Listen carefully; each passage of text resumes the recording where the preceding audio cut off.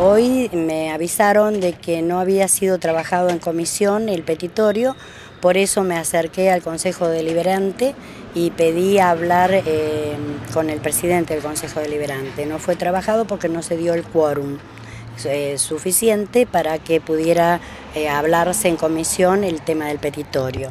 Entonces el presidente del Consejo Deliberante, como el quórum no se había dado a través del Movimiento Popular Neuquino justamente, el presidente del Consejo Deliberante me pidió disculpas, pero eh, habían tenido una prioridad eh, urgente a resolver que les había enviado el, señor intendente, por eso no habían participado de la comisión.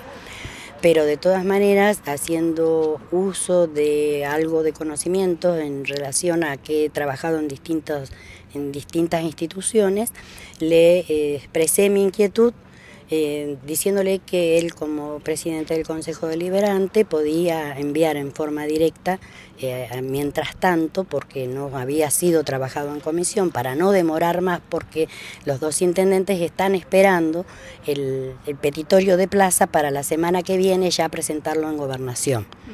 Eh, lo que yo le planteaba el señor Jorge Zanini y eh, así fue, ya se están organizando toda la documentación para que hoy mismo llegue a Intendencia el petitorio con los avales y la desgrabación de la banca del pueblo. Vamos a resumirlo para que quede claro, entonces eh, este petitorio no va a ser tratado en comisión y va a pasar directamente al Ejecutivo. Eh, hoy pasa en forma directa al Ejecutivo con la firma del presidente del Consejo Deliberante y su secretaria. Estaríamos obviando un paso. No, no, no se, no se obvia el paso. Queda la copia del, del petitorio para ser trabajado la semana que viene en comisión como ya había sido avalado por todos los, eh, todos los concejales, el petitorio, eh, se puede implementar esta mecánica rápida de resolución por el tema de que eh, es prioritario para tanto para este Consejo Deliberante como para los de Cutralcó y para ambos intendentes poderlo presentar la semana que viene. Pero va a ser trabajado de todas maneras en comisión. ¿Se confirma se resuelve de alguna manera los pasos que habían eh, previsto entonces la gente, los vecinos autoconvocados? ¿Están conformes? Y en este momento, ahora sí. Hoy, hace un rato, si me entrevistabas, te iba a decir que no, que no estaba conforme.